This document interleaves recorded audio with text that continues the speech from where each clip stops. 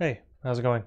It's been quite a while since my last video. Uh, I had some uh, major life events uh, transpire, the birth of another child, um, some career changes, and uh, and various other things that kept me away from the uh, the production desk here. But uh, you know what? I'm really happy that I found some time to get around to making another video um, during the lockdown when there's not a whole much, whole lot else to do.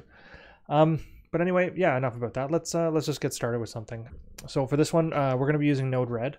Um, I want to solve a problem in my own household, and that is that televisions um, get left on all the time. So my whole house uses uh, Chromecast, for the uh, television viewing, and uh, we cast things from our phone or tablets or laptops or whatever. But uh, the, the the major the major media player is Chromecast. So what I want to do is I want to make an automation in Node-RED that recognizes when the Chromecast goes idle and then uh, starts a sequence kind of like a sleep timer functionality. So if the Chromecast is idle for 30 minutes or more, the television then gets shut off. So the televisions in my case are all hooked up to Sonoff S31s. I think this automation can probably be done with uh, the whole uh, HD through the Chromecast as well, if, if your TV support that. But for me, for me, I'm just going to be doing a regular switching of S31s to turn off the TV. But anyway, uh, let's get started. Um, it's been a long time, so if I'm a little rusty here, um, let me know. I'm going to go through this kind of off the cuff. I don't really know exactly how I'm going to create this automation. I've got kind of an idea, but uh, let's see what we can do here. So start with the uh, event, state event. We want to watch and see when the state of the Chromecast changes. So we'll say media player. And let's go to the bedroom TV. We'll start with that one. And uh, that should be good. Call this bedroom TV state. Done. Okay. Now let's see what kind of states we can push through the bedroom TV here. So I'm going to grab a debug connect those together. We'll set this to debug and current flow and deploy. So let me get some states going here uh, from my phone. I'm going to connect to the bedroom TV, connect to the bedroom TV Chromecast. Okay, so that's connected and it's playing now. And we can see here, uh, oh, it's actually paused. And we can see here that uh, when I make it play, it goes into state playing. When I pause it, it goes into state paused.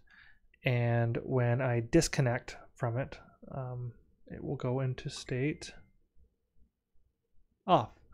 Okay, so state off seems to be the uh, state we're looking for. I, I, know there's an idle state here, um, and I believe, you know, correct me if I'm wrong, uh, but I believe that's when you go idle inside of uh, an application, like for instance the Spotify app or uh, the Plex app. When it goes idle, I think that's when the Chromecast realizes it's it's an idle state. However, uh, what I'm looking for is when the app exits on the Chromecast and you're left with that clock uh, and, and background display screen. So that's what I want to use as the trigger. So I'm going to use the off position as the trigger. So let's throw a switch in here that detects a couple states. First state we want to filter for is off. And we also want to add one for playing because we want to be able to reset this timer so that if we start playing content again on the Chromecast that it doesn't just, you know, turn off in 30 minutes. So we'll use that and we will use my old favorite trigger node. Okay, and we're going to connect both of those guys to the trigger node. And of course, we'll connect the Chromecast to the switch. Move them all so they're kind of nice and equally spaced. And uh, right here, we will change the minutes to 30. I want to have it as a stop timer. Um, we're going to send a couple different states here. So the first state we're going to send is when it detects that it's uh, it's in the countdown phase of the stop timer, I'm just going to send the string countdown. And when it is uh, reached the end of its rope here, I'm going to send the state off. So the way the trigger node works is when it receives a message, it's going to immediately send the message on to the next node, and that message will be uh, have a payload that says countdown. When 30 minutes elapses, it'll then send a second message that says off. And if you notice here, there's a section that says reset the trigger if. Um, we want to reset the trigger if the message payload equals playing. Like I said earlier, if we uh, if someone goes on the, the TV or the Chromecast and plays some content, we obviously don't want it to uh, have the sleep timer active until uh, that state goes back to um, off. So this trigger will be reset if uh, if the switch node passes on uh, the playing string. So I'm gonna just rename this so it's a little more helpful. for playing, and I will keep that name trigger 30 minutes. And what's next? So next thing we need to do is we need to actually throw in uh, the ability for it to control that TV. So that is one of these guys. I think it's called service, yeah. Okay, and the service, and here the domain is going to be a switch. So for me, it's a switch. For you, it might be a media player or however you control your TV on off. But for me, it's a switch. And the service, I'm going to call it as turn off. And the entity ID, I will have to have a quick look. So yes, the bedroom TV entity ID is this long string because it's a it's a cheap Tuya power bar that I haven't yet flashed. So I'm going to be looking for FE underscore one for my switch. Entity ID switch FE underscore one. Okay. And we'll say done to that. Okay, so we're going to be calling switch turn off, yada, yada, yada. Okay, that all looks pretty good. Let me go ahead and deploy this and we'll clear the message flow and I'm going to see if I can reset and set that trigger. So I'm going to connect back to bedroom TV, connected, uh, it's playing, it's paused. Okay, we're going to start playing the content again. And then we are going to disconnect from bedroom TV. Okay, okay, so here we see I made a, uh, a mistake, a, a, a big mistake actually. So that trigger node passed the message on to the switch turn off right away. As soon as it got as soon as it got triggered with the countdown message, it passed that countdown message on to switch turn off. Um, that's not what we wanted. We wanted it to only reach the switch if it's passing the off uh, string.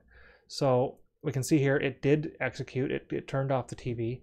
Uh, the Chromecast went to state unavailable. So now we're going to reset and we're going to try that one again. So bedroom TV, it's off. We're going to turn it back on.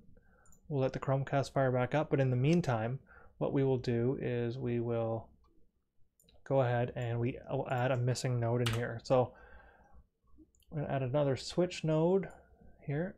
And this way we will only pass on the message if the message payload is off.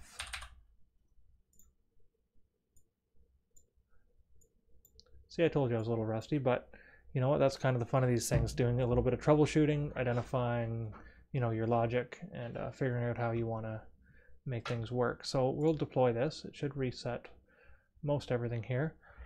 Um, okay, so the, uh, the Chromecast, again, has gone to state off once we turn on the TV. So I'm going to go ahead and go back. We will cast Spotify to that again. So it's connected. It's paused at the moment. I'm going to play. So it's playing, and we will go ahead and uh, disconnect again. Okay, so now it's off. Now we see that we have this trigger set, uh, which means it's now in the middle of a 30 minute countdown. Um, so let's see if we can cancel that trigger by playing some content on the uh, bedroom TV. Okay, so we're connected uh, and Spotify is playing the content. We can see here the state is playing. And uh, yeah, the trigger's been reset. It disappeared, I guess, as soon as that uh, came up. So it looks like this works. Um, we definitely know that the switch turn off works. Um, and we can see that the, uh, the trigger's been set. So let's disconnect one more time, make sure it sets the trigger. So we've disconnected, it's gone to state off, and the trigger is set again. So, so this looks like it'll work just fine. Um, I'm gonna go ahead and delete that node. We'll do some quick duplication here so I can set this uh, same rule for each of the Chromecasts in my house. So it's just, yeah, it's just gonna be a matter of customizing the player on each of these, customizing the switch device that's gonna be turning things off. So this was a good, you know, first video back. As always, if there's a better way of doing this, you know, please let me know. I'd love to feature uh, your method in another video so that we can all, you know, get better at home automation. Anyway, um, I hopefully I'll be making another video soon. Uh, but until then, see you later.